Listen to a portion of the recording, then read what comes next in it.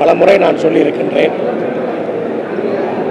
கொங்கு மண்டலத்திற்கு தேவையான திட்டங்களை வளர்ச்சியை உறுதிப்படுத்தவில்லை என்று சொன்னால் அது நிச்சயம் நிறைவேற்ற வேண்டும் என்ற கோரிக்கையை வைத்திருக்கின்றேன். இன்றைக்கு கொங்கு மண்டலத்தின் மீது அக்கறை கொண்ட ஒரு முதலமைச்சர் இருக்கின்றார். தனிப்பட்ட ஒரு முக்கியத்துவத்தை இன்றைக்கு கொங்கு மண்டலத்துக்கு கொடுத்து கொண்டிருக்கின்றார். கொங்கு மண்டலம் எதிர்பார்க்கின்ற அத்தனை திட்டங்களும் நிறைவேறும் என்ற நம்பிக்கை முழுமையாக இருக்கின்றது.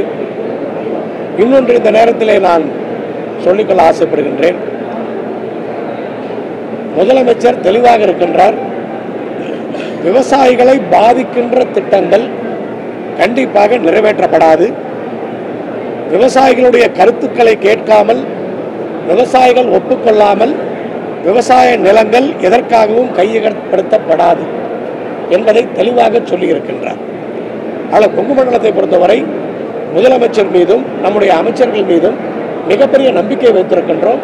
எல்லா திட்டங்களும் நிறைவேறும் என்ற நம்பிக்கை இருக்கிறது.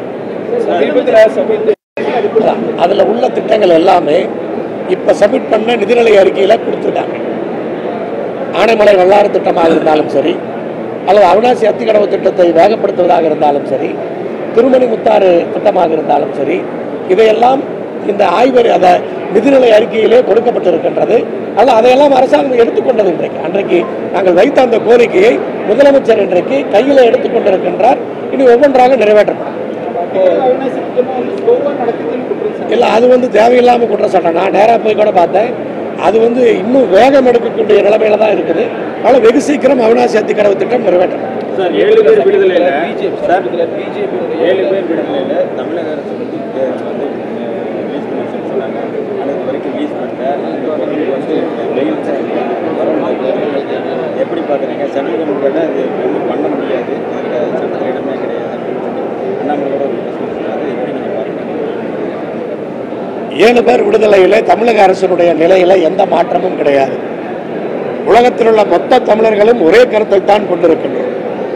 ஆனால் தமிழக அரசினுடைய நிலைப்பாடு என்பது அது நிரந்தரமானது ஸ்திரமானது. பாரதிய ஜனதா கட்சி தலைவரை பொறுத்தவரை அவர் விவசாயிகள் போராட்டத்துக்கு கூட தான் என்ன சொன்னார்னு உங்களுக்கு தெரியும். இன்னைக்கு அதையே திருப்பி சொல்லுவாரா? அந்த ஸ்டாண்டை மாற்றிக்கிட்டார் அது மாதிரி வந்து அவர் அரசியலுக்கு அதிமுகவை அழிக்க வேண்டும் என்று அவர் தீவிரமாக இருக்கிறார். அவருடைய குரல் தான் எதிர்க்கட்சி குரலாக கேட்கப்பட வேண்டும்.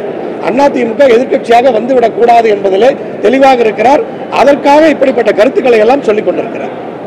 சமீபத்தில் பிஜேபி அரசு கொண்டு வந்திருந்த பெண்களுக்கான திருமண வயது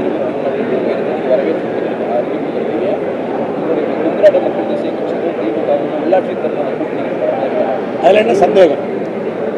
தொடர்ந்து நாங்கள் திராவிட முன்னேற்ற கழக கூட்டணியிலே இருந்து கொண்டிருக்கின்றோம். அதில் எந்த மாற்று கருத்தும் கிடையாது. அமைச்சர் அவர்கள் பேசியது போல நூறு சதவீத வெற்றியை இந்த உள்ளாட்சி தேர்தலிலே கொங்கு மண்டலத்திலே பெறுவோம்.